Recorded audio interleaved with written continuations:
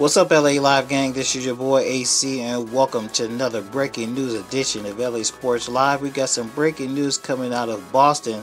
The LA Lakers continue their road trip, their Grammy road trip at Boston this evening, and they have just announced that Anthony Davis is listed as available and expect him to play tonight versus the uh, Celtics. I repeat, Anthony Davis is listed as available for the LA Lakers and he's expected to make his return tonight versus the Celtics. Now, you guys know uh, AD has missed several games due to, due to that sore butt when he took that fall, and uh, he appears to be in good shape, ready to go after missing uh, five games.